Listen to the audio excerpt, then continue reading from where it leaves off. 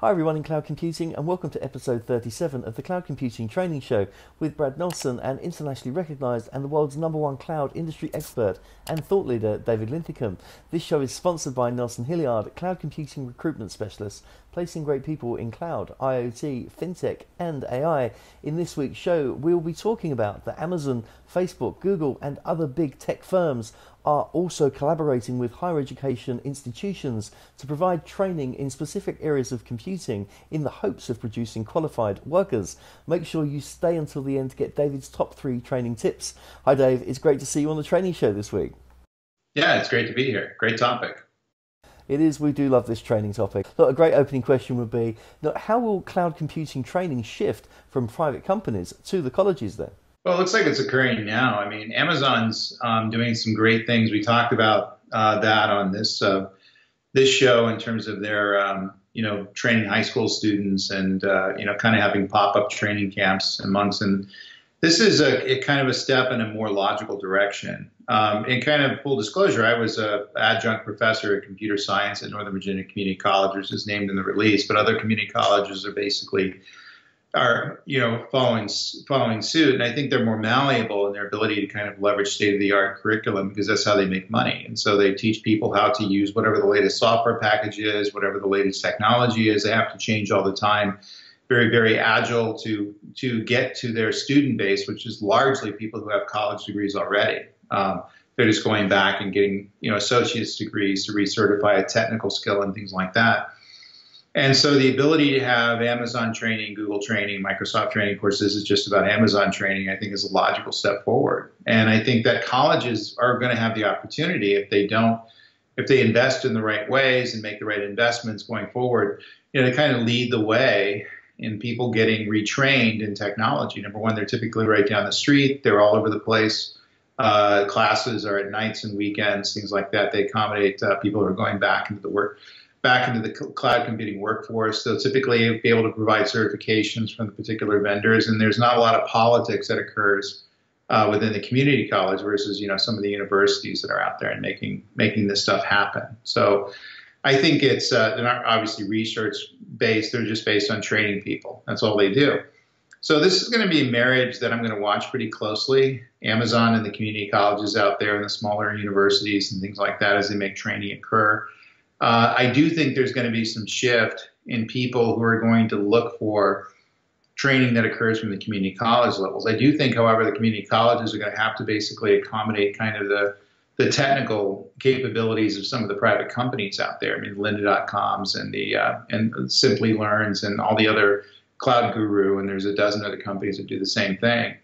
You know, to provide CBTs, um, lectures on demand, um, you know, things like that that they you know typically haven't done traditionally. Um, the ability to kind of have uh, Amazon trial accounts, get into those things, play things up, be able to do some real significant things on the technology, things like that. And so, if the colleges and universe, smaller universities are able to accommodate the tech trends and basically keep up with the needs of the people who are going to look to consume this stuff, and it's not you know 18 19 22 year old people it's going to be 30s 40s 50s people that are you know, getting into a new career, basically trying to find a new career path where they work, and your ability to kind of keep, te- you know, keep up with technologies and provide kind of state of the art, you know, um, you know, training uh, as very much like the private companies, I think is going to be critical critical to success. So I think we're going to see big things from this coming forward. But the colleges universities are going to have to become much more technically astute than they are right now.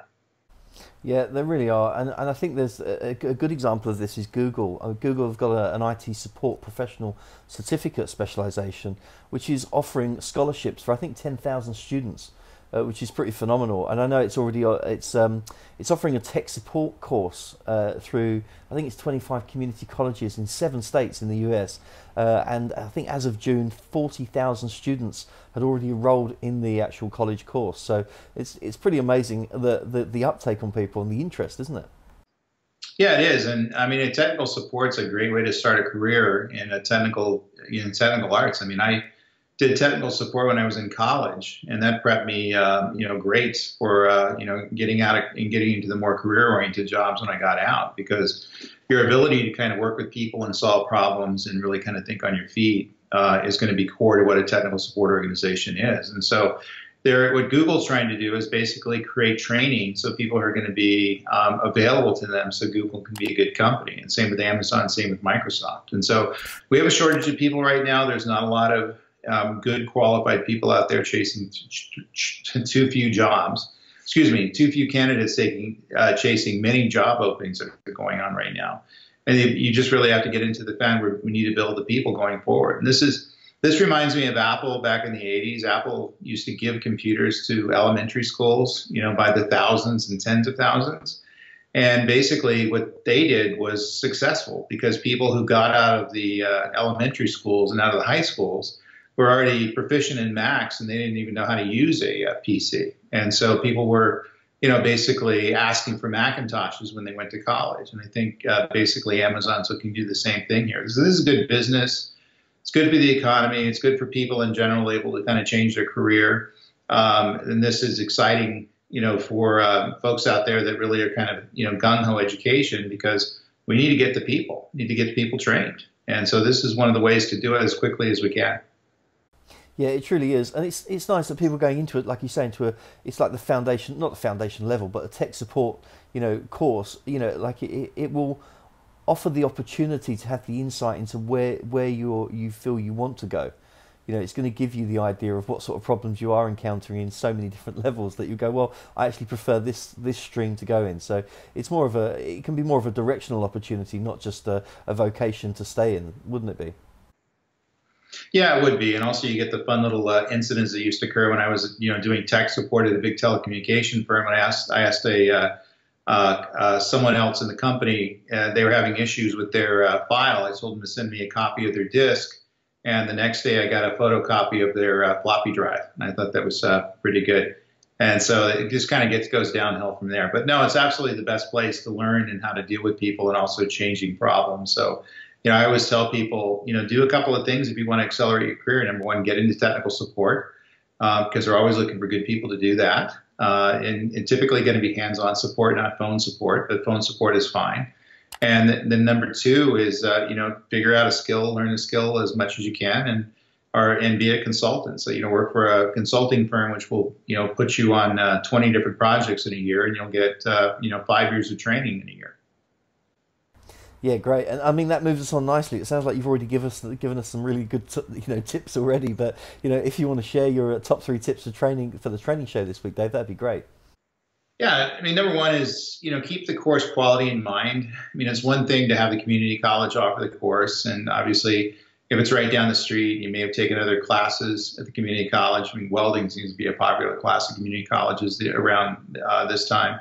Um, make sure you research the quality of the course. They're using the latest, greatest technology. The instructor is, you know, is known to do a good job.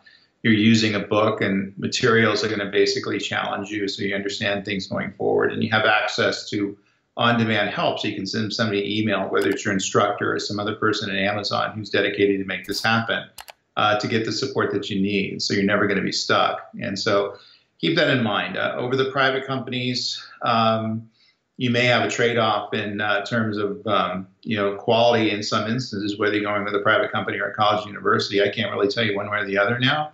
So do your research and make your own decisions. I suspect there's going to be uh, the normal hit and miss out there in terms of uh, courses and how how things are done. You know, keep the tech in mind, where things are going and what to learn.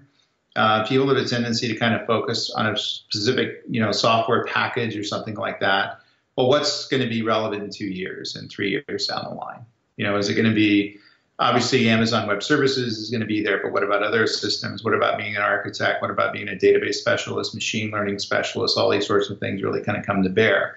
Um, so understand where you think things are going to go. Do your research there and make sure you're kind of going where the ball's being kicked, not where the ball's currently at right now, considering you're starting your career. And then watch out for courses that are too basic. Um, and I run into this all the time where um, the people are going into college universities to get courses on programming things like that and they, they just really don't go anywhere. You know they kind of start you know use older books things like that probably the textbook the professor wrote 10 years ago.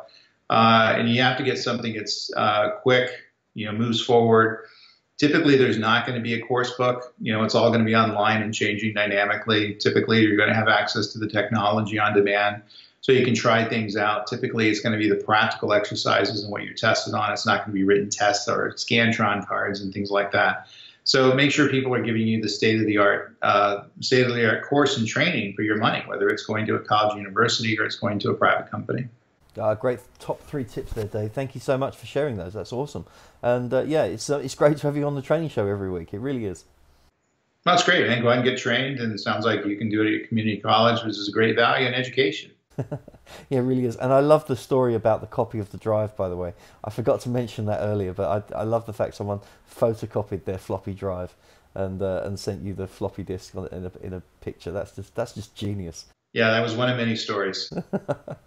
Excellent. Again, thanks, Dave. I really appreciate your time. My pleasure. And thanks for watching, everyone. Really hope you enjoyed watching this week's training show. You can reach out to Dave on Twitter, which is at David Linthicum. Uh, I'm also on Twitter, which is at Nelson underscore Hilliard. Remember to like, subscribe, comment, and share these videos with your friends and colleagues. Uh, and remember to click the notification bell as well so you are updated with the regular shows that come out every week. Thanks for watching, and until next week.